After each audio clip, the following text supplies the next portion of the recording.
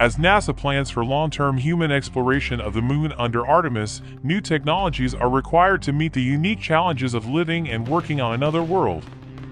NASA has awarded ICON to develop construction technologies that could help build infrastructure such as landing pads, habitats, and roads on the lunar surface.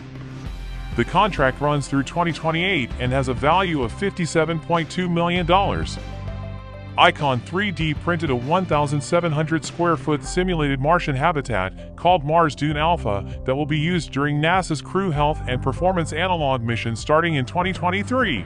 Icon also competed in NASA's 3D Printed Habitat Challenge. The company partnered with the Colorado School of Mines in Golden, and the team won a prize for 3D printing a structure sample that was tested for its ability to hold a seal, for strength, and for durability in temperature extremes.